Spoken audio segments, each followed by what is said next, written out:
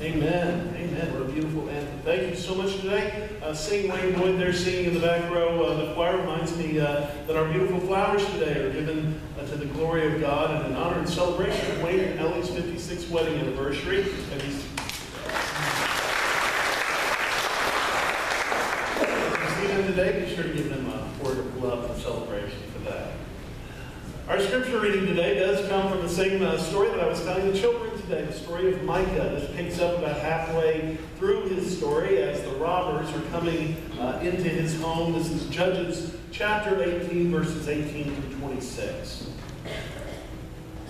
When the men went into Micah's house and took the idol and cast metal, the ephod and the teraphim, and the priest said to them, What are you doing? And they said to him, Keep quiet Put your hands over your mouth and come with us, and be to us a father and a priest. It is better for you to be a priest to the house of one person or the priest to a whole tribe and clan in Israel. Then the priest accepted the offer. And he took the ephod and the teraphim and the idol, and he went with them and their people. So they resumed their journey, putting the little ones, the livestock, and the goods in front of them. And when they had gone some distance from the home of Micah, the men who were in the house of Micah called out, and they ran after the men, and they overtook the Danites. And they shouted to the Danites, who turned around and said to Micah, What is the matter that you come with such a company? And Micah replied, You take, you have taken my gods, and you have taken my priests, and you go away, and what do I have left? How then can you ask me, What is the matter? And the Danites said to him, You had better not let your voice be heard among us, or some hot tempered fellows will attack you, and you will lose your life and the lives of your household. Then the Danites went their way. And Micah saw that they were too strong for him, and he turned back and he went back to his home. May God add his blessing to the reading of this word. Well, here is another uh, exciting story from the book of Judges, which is really just one exciting story after another. Here's a particular story about one man whose name was Micah. And we do give Micah a lot of credit. I admire him. He starts out in this story with the very best of intentions, and I always like people like that because that's how I always start out in my stories that don't always turn out well. I start out with the best of intentions. Micah wanted to have me feel close to God. He wanted to have a faith uh, that was strong. And he believed that one way to do that was to set up a church in his house. And so he did that. He got the place for it. He got the things that he needed to put all around. He even found a priest, a Levite from the tribe of Levi. They were supposed to be the priests, and he found a Levite to be there to be his priest. But one day he was away from home, and these Danites, now the Danites, uh, that's from people from the tribe of Dan. They were really his own people, they were Jewish people, but they were out looking for a new land, a new place where they could settle. And one thing they thought is as they were settled, gosh, we need a, we need a place to worship. And some advanced scouts had seen Micah's nice little setup there with his little church. And so they came specifically to take his church away. And in the process, they even convinced the minister uh, to go along with them. So Micah had a sad homecoming when he got back. He saw that his church had been taken away from him. And he follows the Danites. He's so upset, but he realizes once he gets there, they're a big army. He's just got his few guys from his household. But he says something that I always remember. You take away my gods with you and my priest. What do I have left? You take away my gods and my priest. What do I have left? Well, Micah does become, in the course of his story, the man whose faith was stolen. His religion was stolen, and it points out something important to us today. Because we have and can have today very easily the kind of faith that can be stolen, can be taken away. It's possible to do, to have a faith that is stronger than that, that is so strong, that is so firm, it cannot be taken away.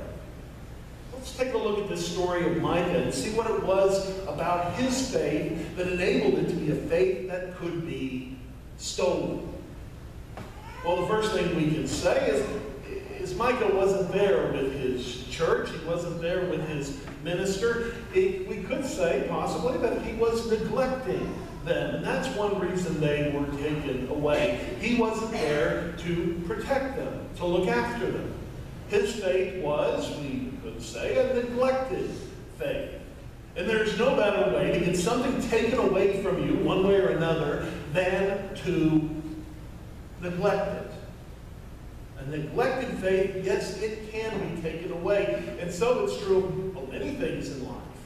We have a few, a list of things like this that come up in our household from time to time. Things we lose because they were neglected.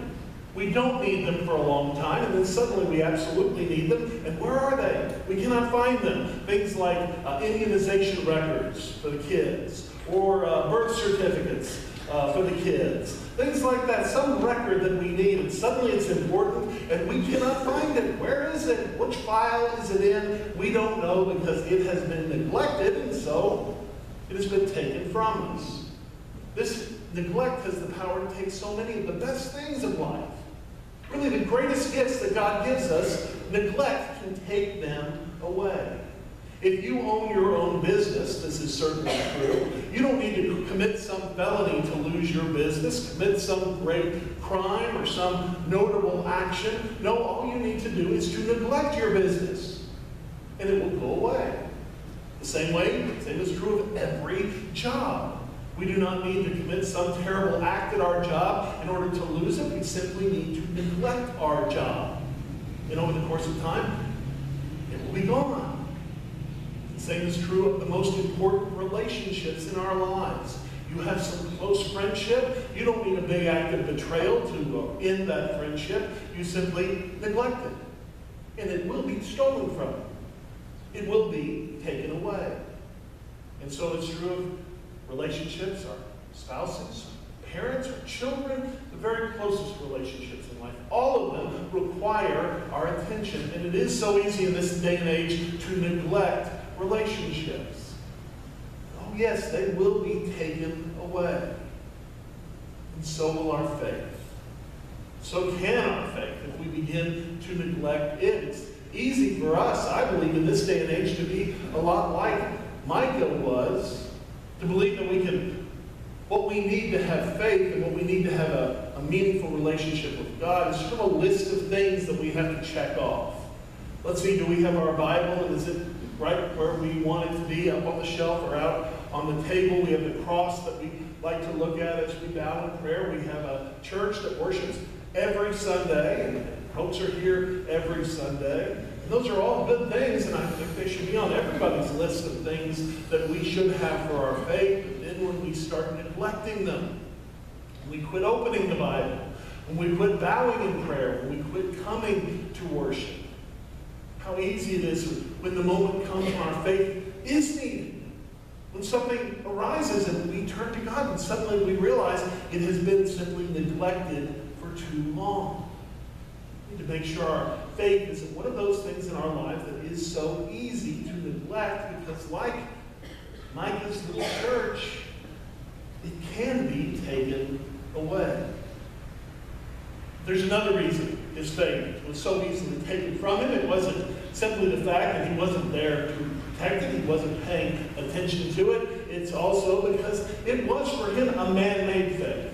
And we see this as we read his story the things I was talking about, I was talking to the kids about what things do we need, and they were talking about the table and the bread and the cross.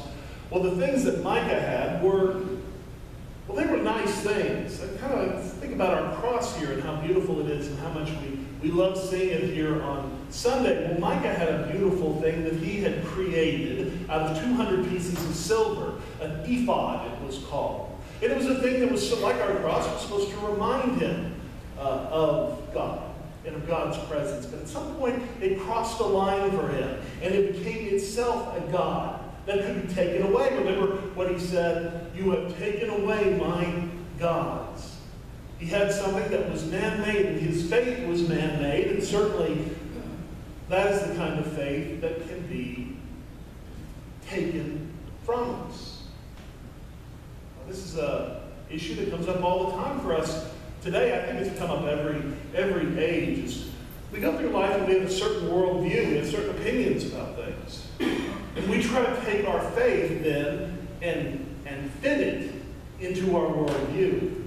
Instead of having our faith come first, uh, this came up the other day. I was listening uh, to the radio and I heard somebody say uh, on the radio, well, God, Jesus taught us that God helps those who help themselves. And I thought, no, he didn't. Jesus never said that. In fact, it's not mentioned anywhere in the Bible. God helps those who help themselves. Now, that fits our worldview. It fits my worldview in, in many ways. But it's not a part of the gospel. In fact, the gospel says God helps us despite the fact we don't help ourselves. God gives us His grace and His forgiveness. And Jesus didn't come and come to those who he could then help to help themselves. He came to people who were, for one reason or another, helpless. And he helped them despite the fact that they couldn't or they wouldn't help themselves. It's easy for us to have a man-made religion that has some belief that can be found anywhere in the Bible, and yet we like to think it's there. We want to believe that it's there. There was a little story about a preacher in uh, London back, back during the Blitz. The, the Nazis were raining bombs down on London, and he visited one little lady in his parish who had survived a, a, a close miss. It was very. In fact, the bombs had hit the next neighborhood over, had leveled all the buildings.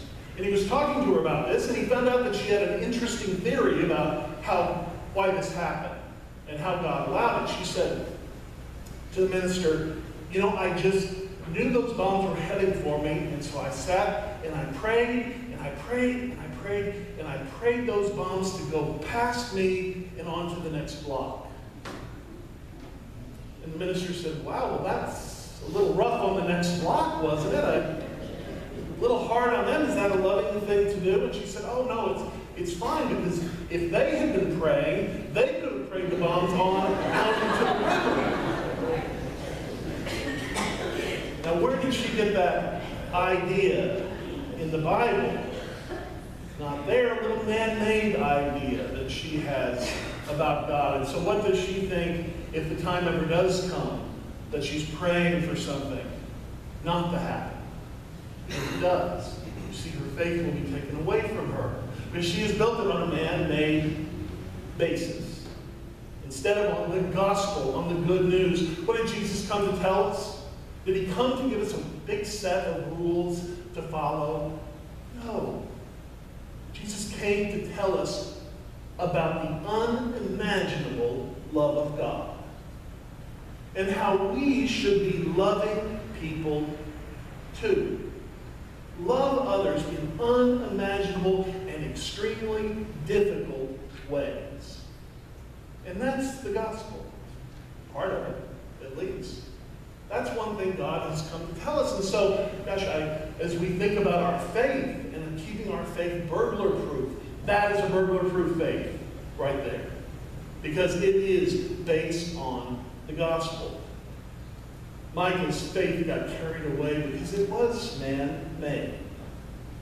But there's one last reason that Micah's faith got carried away, and it's really that it was just, as we think about faith, it was all external to him.